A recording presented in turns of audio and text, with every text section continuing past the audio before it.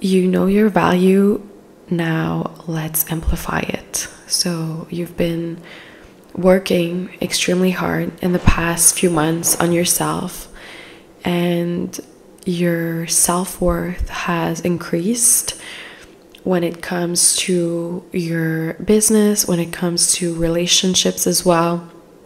You've basically increased the price to access your energy.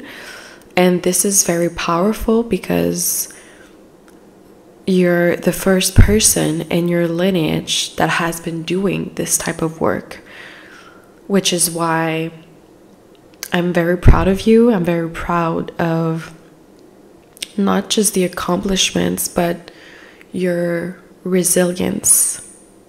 Because when we do this type of work, we are confronted by our deepest shadows, our deepest fears.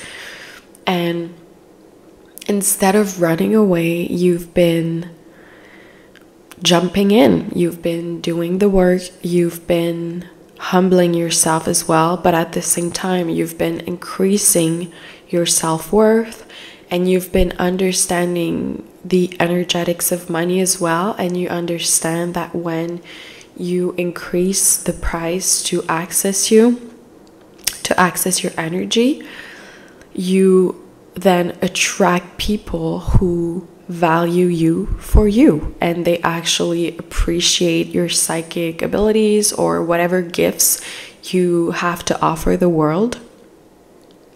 And at the same time, because you've increased the prices, the people who are doing the energetics energetic exchange with you, they're actually getting an upgrade, they're getting elevated because the energetic exchange was fair and made sense. Because if you're not charging enough what happens is that you you've realized that you start to attract people who don't value you don't value your work and your knowledge and your expertise you also attract people um, that are very negative that are that can be aggressive too.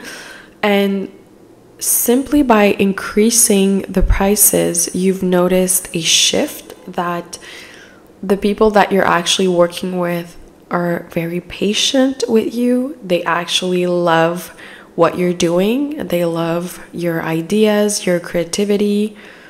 They just love your presence as well. They see you as a piece of art and it feels really good for the first time. It feels like you're actually not running in circles and you're taking your time to experience life and to live in luxury. And the pace is very different. It feels very calm, very grounding. The areas that you've been spending time to, so all the hotel lobbies, it could be some steakhouses, or maybe some just um, upscale malls. The energy is very different in those areas. The energy is very slow. It's actually very similar to the energy of Mother Nature. It's it's very slow, it's very luxurious, it's very abundant, and everything and everyone has a role and everyone is calm and respectful and smiling. And so you've been spending more and more time in those spaces and you've been basking in this energy, and it's been reflecting in your behavior. Now, you do have moments where you're being a little harsh on your past self, the, the self or the version of you that was not like that. That was a bit um, frantic. That was a bit more um, unaware or unconscious.